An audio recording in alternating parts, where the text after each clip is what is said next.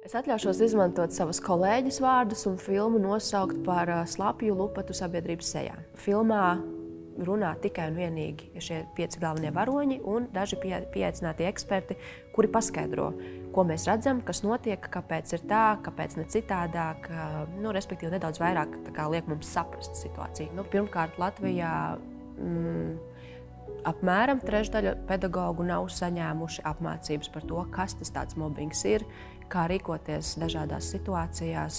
Tad, tad tas jau viens signalizē par to, ka vienkārši pedagogiem nav šo zināšanu. Otrs, arī Latvijā veikta pētījuma liecina, ka ne visi vecāki pat apmēram 60% vecāku tikai zina, kā atzīt, ja viņu, bērns, tiek, ja viņu bērnam tiek darīts pāri. Vēl mazāk, tikai puse vecāku zina, kā atzīt, ja viņu bērns ir tas, kurš dara citiem pāri. Mans tāds lielākais, skaļākais secinājums pēc visa šī darba ir ka mobbings tas ir sabiedrības spogulis. Jo nav tā, ka netiek sniegts atbalsts Latvijā. Mums patiesībā, lai gan visai sadrumstalot ir tā atbalsta sistēma, bet viņi ir gan valstiskā līmenī, gan ir dažādas nevalstiskās organizācijas, kas sniedz atbalstu. Ir ļoti daudz sabiedrībā zināmu personu, kuri iestājās par to, lai tiktu izglītoti gan, gan jaunieši, gan pedagogi. Un tomēr nu, tas, ka statistika ir tāda, kāda tā ir, Tas liecina par to, ka mobbings, tāpat kā citas vardarbības formas, ir akceptētas sabiedrībā.